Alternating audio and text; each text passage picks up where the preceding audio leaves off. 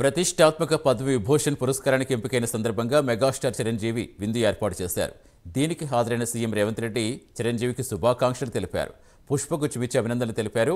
మెగాస్టార్కు ఈ అవార్డు రావటం మనందరికీ గర్వకారణమని చెప్పారు. సినీ హీరో రామ్ చరణ్తోనూ కొద్దిసేపు ముచ్చటించారు.